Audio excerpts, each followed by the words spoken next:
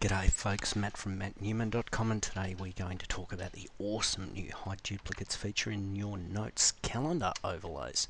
So in the past what you've probably done is in your show calendars list added in members of your team so that you can trace what they're actually up to by looking at their calendar at the same time that you're viewing your own calendar adding calendars into your calendar overlays is really simple.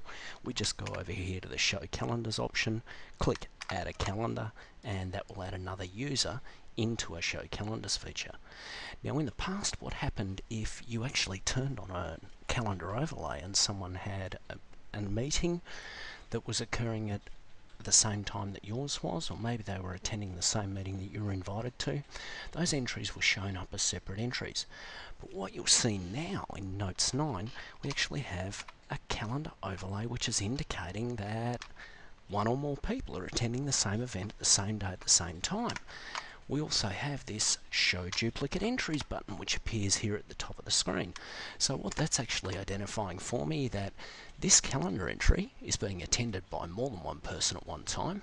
I've got Deborah Jones's calendar overlay turned on and when I turn on Show Duplicate Entries you can see that Deborah is actually attending a meeting that she was invited to by Matthew Newman. That's it hide duplicate entries.